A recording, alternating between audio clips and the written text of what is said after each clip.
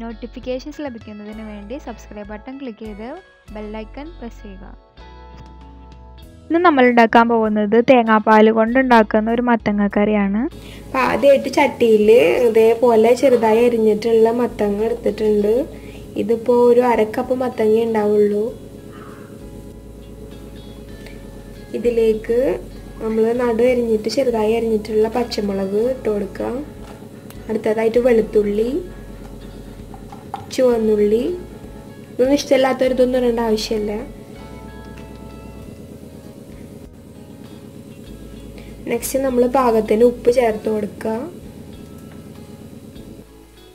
Next half teaspoon മഞ്ഞൾപ്പൊടി ചേർത്ത് കൊടുക്കുക. നെക്സ്റ്റ് പാകത്തിന് വെള്ളം ഒഴിച്ചു കൊടുത്തിട്ട് നന്നായി മിക്സ് ചെയ്ത് കൊടുക്കുക. ഇതൊന്ന് മൂടി വെച്ച് ചെറിയ തീയിൽ ഒന്ന് വേവിച്ചെടുക്കണം.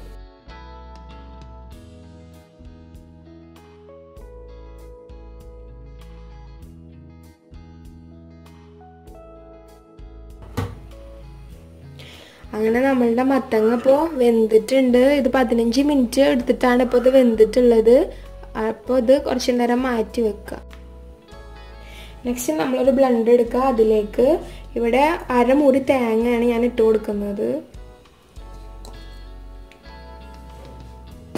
ഇതിലേക്ക് രണ്ട് ചുവന്നുള്ളി ഇട്ട് കൊടുക്കുക. നെക്സ്റ്റ് ഒരു ടീസ്പൂൺ നല്ല ജീരകം ഇട്ട് കൊടുക്കുക.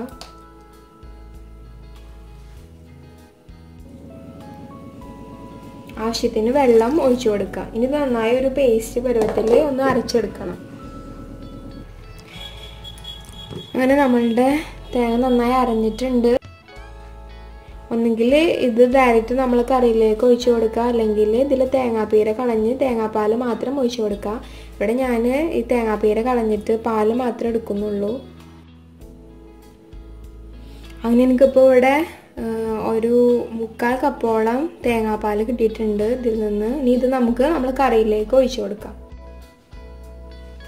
നമ്മളെ നേരത്തെ വേവിച്ച മത്തങ്ങ കറിയിലേക്ക് ഈ തേങ്ങാപ്പാൽ നമ്മൾ ഒഴിച്ചു കൊടുക്കുക. എന്നിട്ടൊന്ന് യോജിപ്പിച്ച് കൊടുക്കുക. ഇതൊന്ന് ചെറിയ തീയിൽ നന്നായി വേ തിളക്കണ്ട. ജസ്റ്റ് ഒന്ന് സ്റ്റാർട്ട് തിളക്കാൻ സ്റ്റാർട്ട് ചെയ്യുമ്പോഴത്തേനും നമ്മൾ തീ ഒന്ന് ഓഫ് ചെയ്ത് കൊടുക്കണം.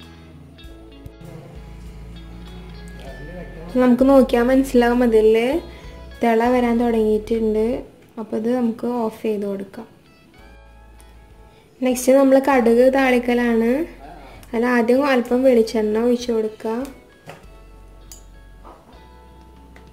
വെളിച്ചെണ്ണ ചൂടായി വരുമ്പോൾ അതിൽ കടുക് ഇട്ട് കൊടുത്ത് പൊട്ടിക്കുക.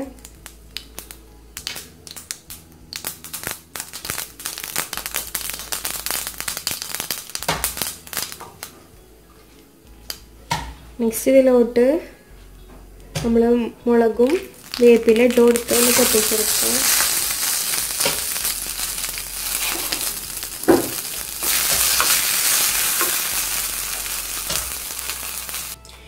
നെക്സ്റ്റ് നമ്മൾ കടുക് താളിച്ചത് നമ്മൾ കറിയിലേക്ക് ഒഴിച്ചു കൊടുക്കുക